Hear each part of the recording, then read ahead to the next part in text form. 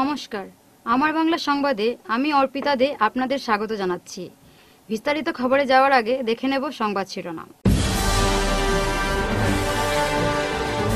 সরকারি বালিকা বিদ্যালয়ে দিব্যাঙ্গদের ভ্যাকসিনের জন্য ঘোষণা, উদ্বোধন কীর্তির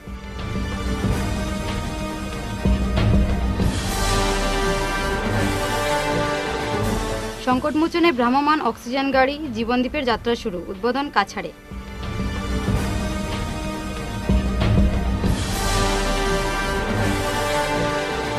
চার মাস থেকে বেতন বঞ্চিত। অবশেষে ধর্নায় বসলেন মেডিকেলের সিকিউরিটি কর্মীরা।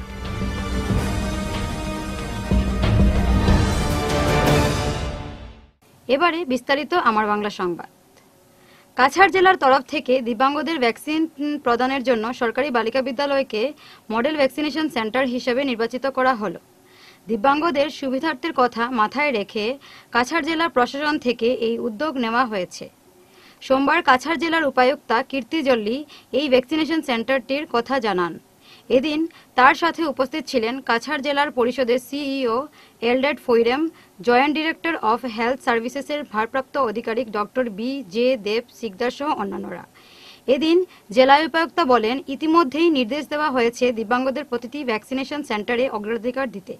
তবে দিব্যাঙ্গদের সুবিধার্থে সরকারি বালিকা উচ্চতর মাধ্যমিক বিদ্যালয়কে মডেল সেন্টার হিসেবে গড়ে তোলা হয়েছে তাই দিব্যাঙ্গ ব্যক্তিরা নির্দিষ্ট সেই কেন্দ্রে গিয়ে ভ্যাকসিন গ্রহণ করতে আহ্বান জানান তিনি पर अ, हमें लगा कि एक डेडिकेटेड सेंटर होने से सारे मिल के एक क्लब वे में using N G supports also एक ही सेंटर में आ सकते हैं मोबिलिटी भी आसान होगा तो इसीलिए हमने ये आज गफ्ट गर्ल्स हाई स्कूल में मिल रहे हैं ये सेंटर हमने डेडिकेट किया है कि for people with disabilities they can come and first come first serve basis पे उनको प्रायोरिटी मिलेगा compare to the others also who are in the line तो मैं आप सभी को ज़िला में अगर कहीं पे भी है, आप आ सकते हैं तो आ जाइएगा। यहाँ पे डेडिकेटेड सेंटर रखा है। रैम्स भी है तो आने में आसान होगा। आप प्लीज़ आइएगा एंड इस फैसिलिटी को टेंथ जून तक यूज़ कीजिएगा। सात बजे से दो बजे हमारा सेशन चलता है। एक आईडी कार्ड लेके आप यहाँ आ सकते हैं प्लीज़ सभी को मेरा आह्वान है कि कोई people with disabilities who are not sure कहाँ मिलेगा आप यहाँ डायरेक्टली डेडिकेटेड सेंटर में आ सकते हैं government girls high school Silchar জীবনদ্বীপ ভ্রাম্যমাণ অক্সিজেন গাড়ির উদ্বোধন হলো কাছাড়ে গৃহে অবস্থানরত অতিমারি করোনায় আক্রান্ত রোগীদের স্বাস্থ্য সংকটমোচনে দুটি ভ্রাম্যমাণ অক্সিজেন সরবরাহকারী গাড়ি জীবনদ্বীপের সূচনা হলো কাছাড়ে সোমবার সতীন্দ্রমোহন দেব সিভিল হাসপাতাল পতাকা নেড়ে এই দুটি গাড়ির উন্মোচন করেন জেলাশাসক কীর্তিজল্লি এ সময়ে তার সাথে উপস্থিত ছিলেন জেলা স্বাস্থ্য বিভাগের ভারপ্রাপ্ত যুগ্ম সম্পাদক ডক্টর বিমলজ্যোতি দেব শিকদার, জেলা পরিষদের সিইও এলডেড ফৈরাম সহ অন্যান্যরা। দিবানিশি জেলা স্বাস্থ্য সমিতি ও জেলা দুর্যোগ মোকাবেলা বিভাগের অধীনে গাড়ি দুটি চলবে। এর দায়িত্বে থাকবেন জেলাশাসক নিয়োজিত একজন ম্যাজিস্ট্রেট এদিকে এই সেবা প্রদানের জন্য শিলচর সিভিল হাসপাতালে একটি আলাদা মেডিকেল টিম গঠন করা হয়েছে। পাশাপাশি তাদের জন্য রাখা হয়েছে আলাদা কক্ষ।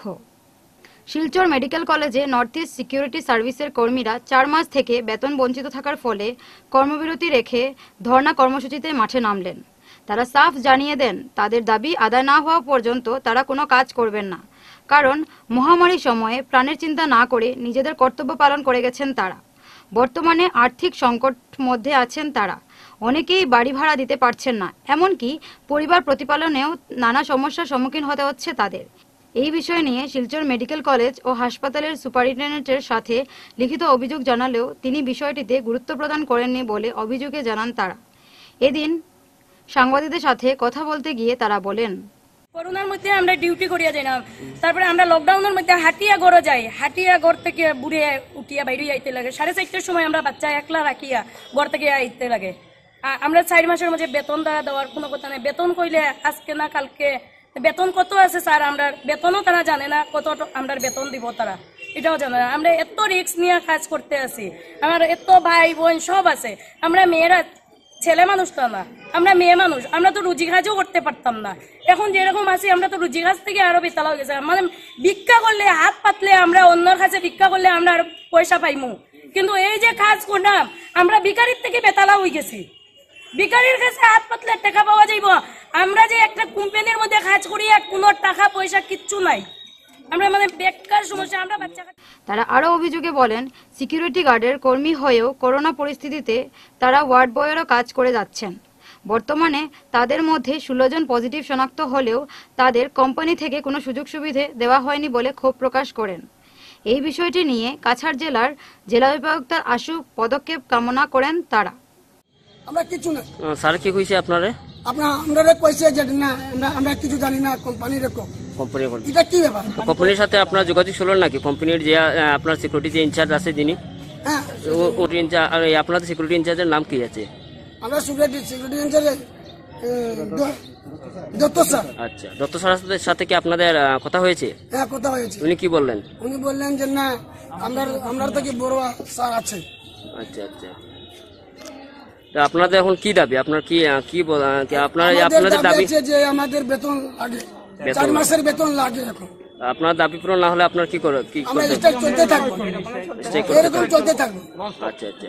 আপনাদের এই আপনার সিকিউরিটির আন্ডারে আপনার কতজন সিকিউরিটি আছেন? আপনার এই একশো দশ জন সিকিউরিটি সার্ভিস এর মধ্যে ষোলো জন পজিটিভ পোষে ফের চুরির ঘটনা ঘটল শহরে রবিবার রাতে শিলচর শহর থেকে প্রায় এক কিলোমিটার দূরে অবস্থিত চন্দ্রপুর এলাকার শিববাড়িতে নিশি কুটুমরা হানা দিয়ে মন্দিরের দানবাক্স থেকে টাকাসহ স্বর্ণালঙ্কার ও অনেক মূল্যবান সামগ্রী হাতিয়ে নিয়ে যান। এ নিয়ে এলাকার এক বরিষ্ঠ নাগরিক সংবাদ মাধ্যমকে ডেকে বলেন, শিব মন্দিরে আরও অনেকবার চুরি হয়েছে, কিন্তু আজ অবধি দুষ্কৃতীদের আটক করা হয়নি। তিনি পুলিশ প্রশাসনের কাছে আবেদন জানিয়ে বলেন, মন্দিরে নিরাপত্তার ব্যবস্থা করা সহ টহলদারি করতে। মন্দিরের আশেপাশে জনবসতি কম থাকার ফলে সেই সুযোগকে কাজে লাগিয়ে মদের আসর, ড্রাগস সেবন ইত্যাদি বিভিন্ন অসামাজিক কার্যকলাপ চলে মন্দির চত্বরে। তাই পবিত্র স্থানটিকে নিরাপত্তার জন্য পুলিশ প্রশাসনের সহযোগিতা কামনা করেন তিনি। আমরা যে এই বন্ধের শিববাড়িতে যে চুরি হয়েছে, এটা একবারে ঘটনা নয় বারে বারে এইরকম ঘটনা ঘটে এবং আমরা কোনো মানে চুরকে ধরতে পারিনি কোনোবার কিন্তু এবার আমরা প্রশাসনকে বলছি যে আমরা এই শিববাড়িতে একটু প্রতিদিন যে এটা দেখার জন্য এটা কেন শিববাড়িটা একটা বন্ধ অবস্থিত। এখানে মানুষজন লোক কম থাকে তার জন্য আমরা প্রশাসনকে বলছি তার তদারকি করার জন্য। এবং এই মন্দিরটা আমরা সবারই প্রিয় এবং জাগ্রত মন্দির তার জন্য আমরা সবাই প্রশাসনকে এই কথা বলছি। এবং এই দোকানদারি এই মন্দিরটা একাত্ম অবস্থা থাকায় ড্রাগসকারীরা রাত্রে এখানে বসে ড্রাগস খায় এবং অ্যালকোহল এবং মদ খায়। নানা বহু রকমের এখানে দুর্ব্যবহার হয়। তার জন্য আমরা প্রশাসনকে বলছি সেটা দিনের বেলাও হ্যাঁ, দিনের বেলাও। হয় হয় হ্যাঁ তো প্রশাসনকে বলছি সেটা তদারকির জন্য আমরা হাইলাকান্দিতে গতবারের বন্যায় ক্ষতিগ্রস্তদের ক্ষতিপূরণ দেওয়ার দাবি জানালেন বরাক ডেভেলপমেন্ট পরিষদের কেন্দ্রীয় সভাপতি এম হিফজুর রহমান লস্কর। তিনি বলেন বন্যায় ক্ষতিগ্রস্ত সুবিধা প্রাপকের তালিকা আজও প্রকাশ হয়নি। তালিকা প্রকাশের আগে কতিপয় পটোয়ারি তালিকায় নাম তোলা হয়েছে বলে জানিয়ে উৎকোচ আদায় করেছেন। এতে স্পষ্ট, হাইলাকান্দিতে বন্যায় ক্ষতিগ্রস্তদের তালিকা বাছাইয়ে বড় মাপের কেলেঙ্কারি সংঘটিত হয়েছে। যাদের বন্যা ধারে কাছেও যায়নি, পাকা ঘর রয়েছে, এমন ব্যক্তিদের নামও বন্যায় সম্পূর্ণ ক্ষতিগ্রস্তদের তালিকায় উৎকোচের মাধ্যমে অন্তর্ভুক্ত করা হয়েছে। এমন অভিযোগ করেন উত্তর নারায়ণপুর জিপির সভাপতি হিফজুর রহমান লস্কর। তিনি এ ব্যাপারে তদন্তক্রমে প্রকৃত ক্ষতিগ্রস্তদের ক্ষতিপূরণ দেওয়ার জন্য মুখ্যমন্ত্রী হিমন্ত বিশ্ব শর্মার কাছে দাবি জানান। করে আমি আজকে জোরালো দাবি জানাচ্ছি, প্রত্যেক পাঠুয়াদেরকে আইনের আওতায় আনা হোক এবং আমরা দেখেছি যেগুলা লিস্ট তৈরি করা হয়েছে দু হাজার আঠারো ইংরেজিতে যাদের নাম নথিভুক্ত করে পাটোয়ারিরা নিয়ে গিয়েছিল, কিন্তু হাইলাকান্দি জেলায় অর্থাৎ ডিসি অফিসে যেটা সাবমিট করেছেন, সেটার মধ্যে অনেক অসঙ্গতি দেখা দিয়েছে। অনেক যোগ্য মানুষের নাম বঞ্চিত করে পাটোয়ারিরা টাকার মাধ্যমে উৎকুচ গ্রহণ করে অনেক পাকা করে নাম দিয়েছেন। এটা লিস্ট বের হওয়ার পর, জনগণ টাকা পাওয়ার পর অনেক গরিব মানুষরা বঞ্চিত হয়েছেন। আমরা কিন্তু বসে থাকব না। আমরা একদিকে আইনের দ্বারস্থ হব, অন্যদিকে বৃহত্তর গণ আন্দোলন করব। আজকে আপনাদের মাধ্যমে জানিয়ে দিতে চাই, এক সপ্তাহের ভিতরে, আগামী এক সপ্তাহের ভিতরে যদি এই লিস্ট পুনর্বিবেচনা না করা হয়, আমি আগামী পনেরো তারিখের ভিতরে আমি হাইলাকান্দি জেলা এবং বিশেষ করে আলগাপুর ব্লক, আমি অন্তত দশ হাজার জনগণকে নিয়ে উত্তর করিমগঞ্জের ব্রাহ্মণ শাসন জিপির অধীনস্থ লামা বাহাদুরপুর গ্রামের নবনির্মিত স্থানীয় পূর্ত সড়কের সঙ্গে সংযোগী রাস্তাটি রাতের অন্ধকারে একটি দুশ্চক্র কেটে দেওয়ায় বৃহত্তর গ্রামের যোগাযোগ ব্যবস্থা বন্ধ হয়ে পড়ায় সৃষ্টি হয়েছে তীব্র জনক্ষোভের। গৃহবন্দী হয়ে পড়েছে লামা বাহাদুরপুর কাটাগ্রাম সহ বিস্তীর্ণ জনপদের প্রায় পাঁচ শতাধিক পরিবার। দুষ্টচক্রের বিরুদ্ধে কঠোর প্রশাসনিক ব্যবস্থা গ্রহণের দাবি তুলে সরব হয়েছেন ভুক্তভোগী গ্রামবাসীরা। রাস্তাটিতে প্রয়োজনীয় কালভার্ট বসিয়ে মেরামত করার ব্যবস্থা করে দিয়ে দুর্গত গ্রামবাসীর পাশে দাঁড়িয়েছেন উত্তর করিমগঞ্জের বিধায়ক কমলাক্ষ দে পুরকায়স্থ সোমবার এই অমানবিক ঘটনার বিরুদ্ধে গর্জে ওঠেন ভুক্তভোগী গ্রামবাসীরা।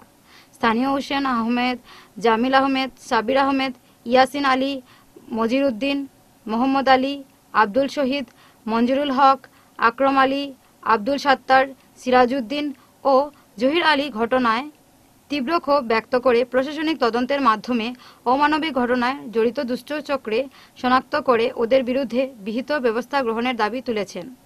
গ্রামবাসীরা অভিযোগ করে বলেন, গত শুক্রবার রাতের অন্ধকারে অজ্ঞাত দুষ্কৃতীরা রাস্তাটি কেটে লামা বাহাদুরপুর, কাটাগ্রাম সহ বিস্তীর্ণ এলাকার প্রায় পাঁচ শতাধিক পরিবারের শহরের সঙ্গে সংযোগ বিচ্ছিন্ন করায় তারা চরম দুশ্চিন্তায় পড়েছেন। কারণ এমতাবস্থায় গ্রামে যদি কারও বাড়িতে আগুন লাগে বা কেউ অসুস্থ হয়ে পড়ে, বিশেষ করে কোনো প্রসূতিকে হাসপাতালে নিতে হয়, তবে গ্রামে দমকল, ইঞ্জিন বা অ্যাম্বুলেন্স ঢুকতে পারবে না। ঘটনার খবর পেয়ে সরজমিন, ঘটনার খবর পেয়ে সরজমিন ঘটনাস্থল পরিদর্শন করে গ্রামবাসীদের সঙ্গে কথা বলেন।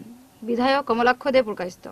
তিনি অনতিবিলম্বে রাস্তাটি মেরামত সহ হিউম পাইপ লাগিয়ে চলাচলের উপযোগী করে দেওয়ার আশ্বাস দিয়ে ভুক্তভোগী গ্রামবাসীর পাশে দাঁড়িয়েছেন। সোমবার রাজ্যের মিন আবগারি এবং বন ও পরিবেশ বিভাগের মন্ত্রী তথা ধলাই বিধানসভা কেন্দ্রের বিধায়ক পরিমল শুক্লবৈদ্যের ব্যক্তিগত তহবিল থেকে ত্রাণ সামগ্রী তুলে দেওয়া হয় বরজালেঙ্গা মণ্ডলের দার্বি গাঁও পঞ্চায়েত এবং নয়াবিল গাঁও পঞ্চায়েতের করোনা আক্রান্ত অসহায় পরিবারের মধ্যে। বর্তমানে মন্ত্রী পরিমল রাজ্যের ক্যাবিনেট কর্মকলাপের জন্য দিশপুরে রয়েছেন। তার অনুপস্থিতিতে সেই ত্রাণ সামগ্রীগুলো তুলে দেন পশ্চিম ধলাই জেলার পরিষদ সদস্য লক্ষ্মীরানী যাদব। এদিন তার সাথে অন্যান্যদের মধ্যে উপস্থিত ছিলেন বরজালেঙ্গা মণ্ডলের সাধারণ সম্পাদক বিষ্ণু দোয়াল গোয়ালা, জেলা বিজেপির যুব মোর্চার মিডিয়া ইনচার্জ মোহিতুস তাঁতি, বরজালেঙ্গা যুব মোর্চার সভাপতি সুজিত কুমার দাস সহ অন্যান্যরা। কাছাড় জেলার বরখলা বিধানসভা কেন্দ্রের বড়রামপুর জিপির অধীনস্থ ডলু এলাকায় মেডিকেল সাব সেন্টার চিকিৎসকহীন বলে সরব হলেন এলাকার স্থানীয়রা। করোনা সংক্রমণের ভয়াবহতা রাজ্যের সাথে বরাক উপত্যকাতেও ব্যাপকভাবে দেখা যাচ্ছে। বরখলায় সংক্রমণ বাড়তে থাকায় জনমনে তীব্র আতঙ্ক দেখা গেছে।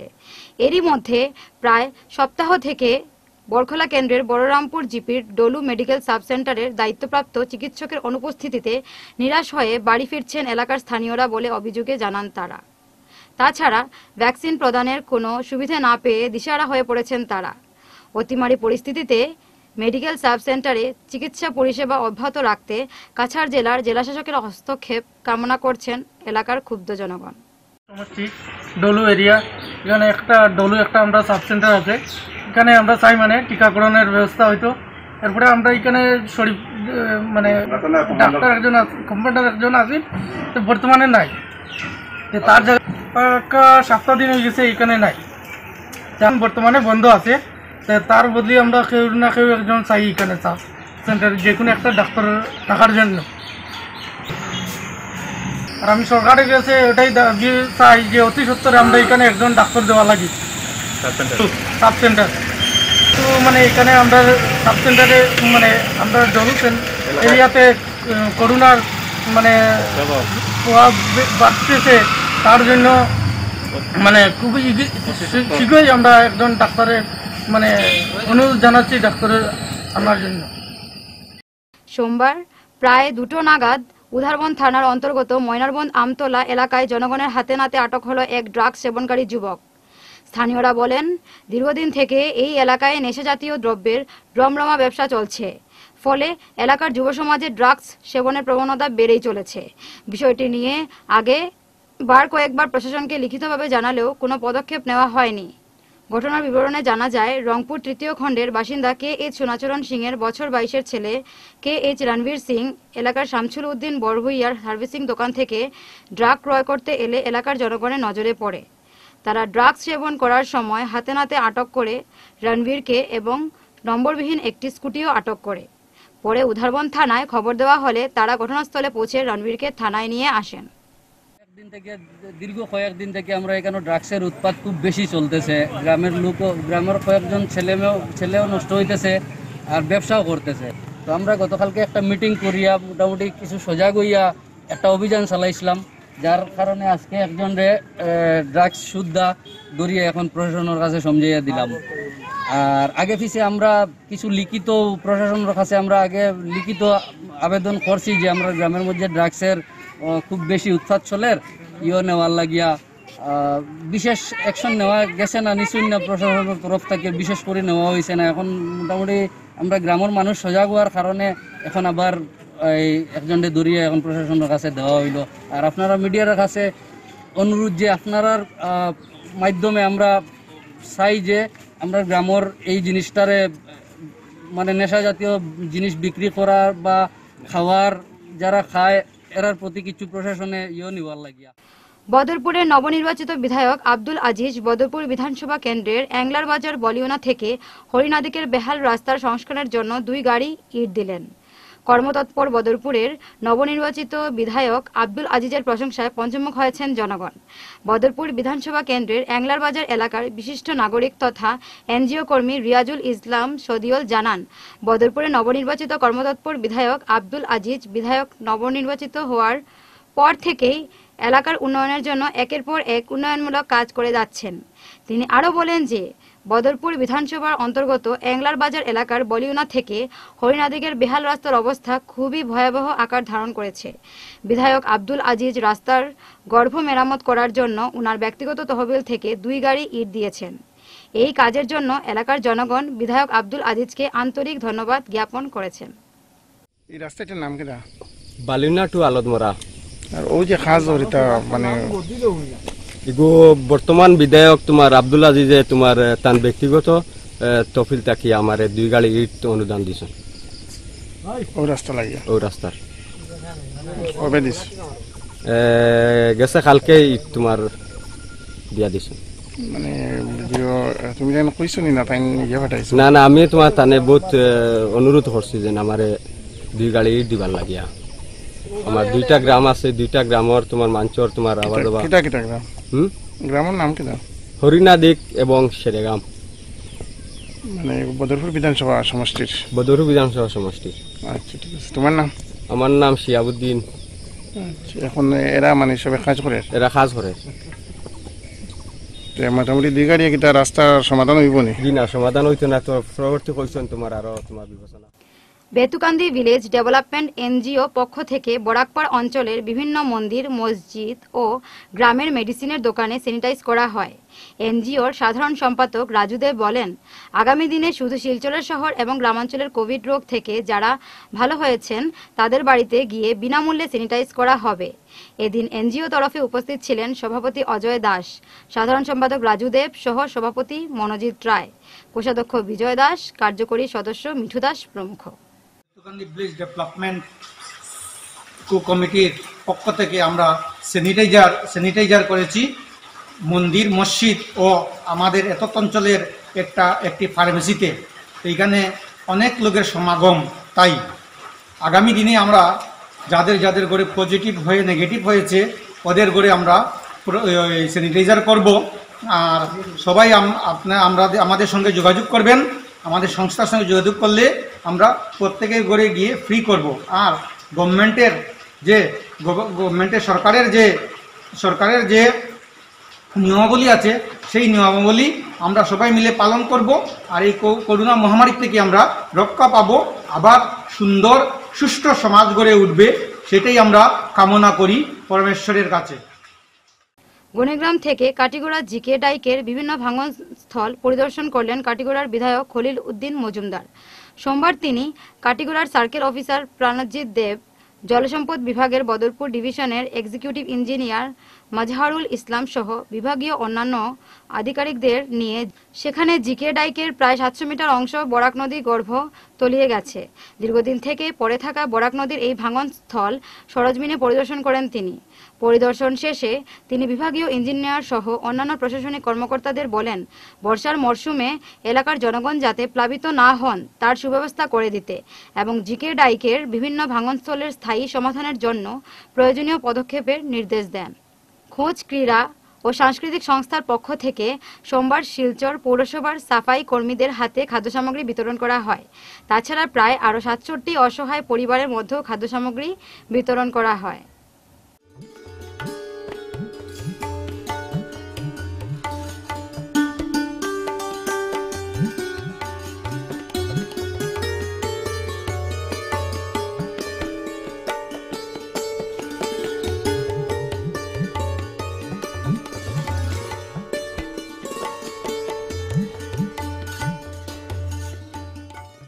শনিবার বিশ্ব পরিবেশ দিবস উপলক্ষে নরসিংপুর স্থিত সরস্বতী বিদ্যানিকেতনে বৃক্ষরোপণ করেন ফ্যান্টাস্টিক ফ্রেন্ডস গ্রুপের সদস্যরা। এদিনের বৃক্ষরোপণ কর্মসূচিতে সরস্বতী বিদ্যানিকেতনের পক্ষ থেকে উপস্থিত ছিলেন স্কুলের সভাপতি বীরেশ চন্দ্র নাথ সম্পাদক দিলীপ নাথ এবং ফ্যান্টাস্টিক ফ্রেন্ডস গ্রুপের পক্ষ থেকে উপস্থিত ছিলেন সহেলি দেব সহ অন্যান্যরা। শেষ করার আগে বিশেষ বিশেষ খবর আরও একবার। সরকারি বালিকা বিদ্যালয়ে দিব্যাঙ্গদের ভ্যাকসিনের জন্য ঘোষণা, উদ্বোধন কীর্তির।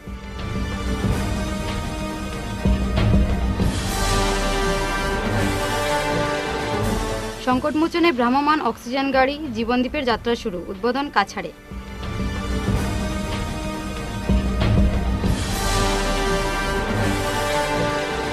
চার মাস থেকে বেতন বঞ্চিত, অবশেষে ধর্নায় বসলেন মেডিকেলের সিকিউরিটি কর্মীরা।